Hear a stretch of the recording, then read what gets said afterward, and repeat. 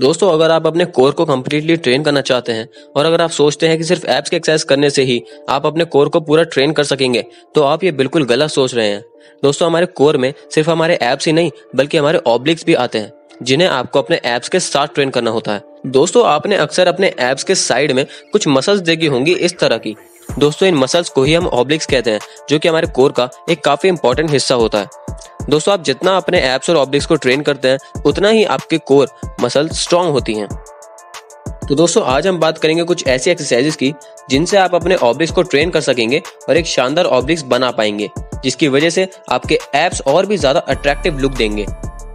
दोस्तों, हमारी सबसे पहली एक्सरसाइज है हैंगिंग साइड लेग रेस दोस्तों, आपको पता ही है कि एप्स के एक्सरसाइजेस के लिए हम हैंगिंग लेग रेस परफॉर्म करते हैं। इसी तरह दोस्तों, आपको अपने ऑब्लिक्स के लिए भी हैंगिंग लेग रेस परफॉर्म करने हैं, पर इसके अंदर आपको थोड़ा वेरिएशन लाना होगा।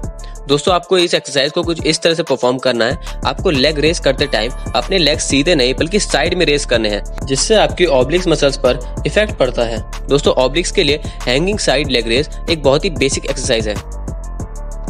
अब है दोस्तों हमारी दूसरी एक्सरसाइज जो कि है क्रंचेस दोस्तों, आप क्रंचेस दो तरीके से करते हैं। पहला तो है नॉर्मल क्रंचेस पर दोस्तों, इन्हीं क्रंचेस को अगर आप ऑब्लिक्स के लिए करना चाहते हैं तो दोस्तों, आपको इसके अंदर थोड़ा सा चेंज लाने की ज़रूरत है।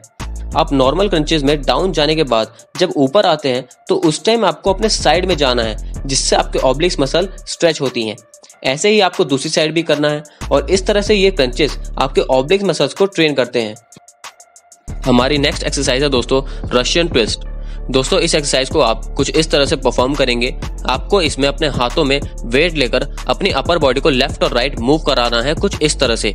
आप जितना अपनी बॉडी को लेफ़्ट और राइट स्ट्रेच करते हैं और उन पर वर्क करते हैं, उतना ही इफ़ेक्ट आपके ऑब्लिक्स पर आता है और एक मज़बूत कोर आप बना पाते हैं।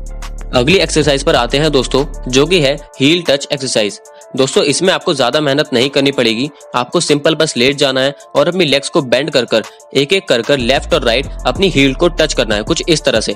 तो इससे होगा क्या दोस्तों? इससे आप रेगुलर अपने ऑब्लिक्स को स्क्वीज कर कर स्ट्रेच कर पाएँगे जैसे जैसे जब आप लेफ़्ट और राइट अपनी हील को टच करेंगे।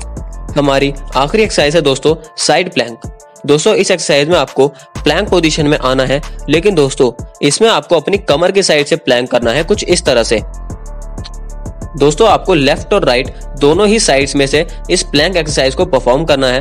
दोस्तों, जैसा आप जानते ही हैं कि प्लैंक एक्सरसाइज में आपको अपनी बॉडी को ज़मीन से टच ना करने के लिए हवा में रखना पड़ता है, जो कि काफ़ी ज़्यादा टफ हो जाता है, अगर आपका वेट काफ़ी ज़्यादा है। उसी तरह दोस्तों, जब आप साइड प्लैंक करेंगे तो आपको प्रेशर पेट की जगह आपके साइड पार्ट पर, यानी कि आपके ऑब्लिक्स पर पड़ेगा, जो कि आपके ऑब्लिक्स की एक बेटर शेप आने में काफ़ी ज़्यादा हेल्प करेंगे। तो दोस्तों, आज की वीडियो में बस इतना ही।